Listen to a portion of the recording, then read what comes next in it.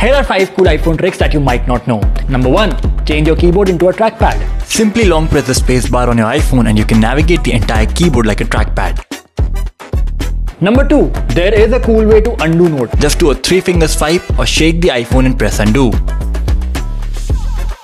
Number 3. You can also protect these notes. Tap the 3 dot menu on the top right and select lock. You can add password and Face ID too.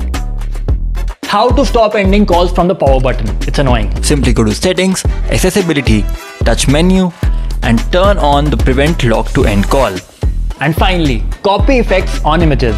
Once edited, just simply press on the 3 dot menu, choose copy edit and paste it simply on the next picture. Make sure to check them out if you're an iPhone user. For more informative content, follow Business Insider India.